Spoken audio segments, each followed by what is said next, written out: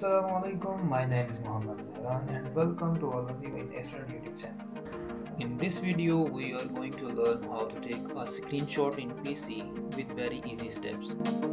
Basically, we have two methods but at the end is tip for you, so watch till the end.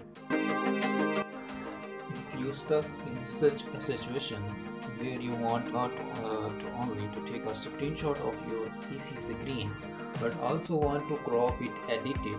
So first method is for that purpose. For that you have to go on your keyboard and press print screen button and then go to open paint.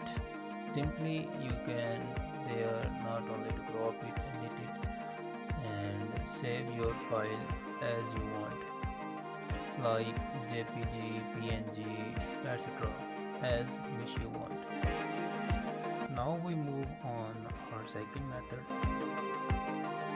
When you want to take your snap of your screenshot of your pc and also want to edit it like, like underlining uh, a document.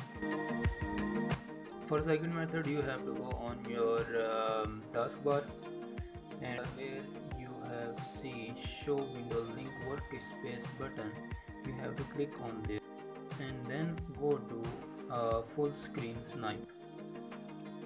Then PC show you a full screen uh, snipe where you can uh, edit your in which color you want your PC work like that. So here you can save it as you want.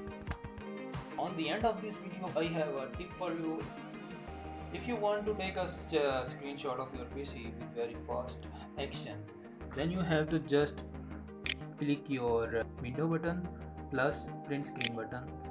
Here you can see your screenshot is saved like in this form.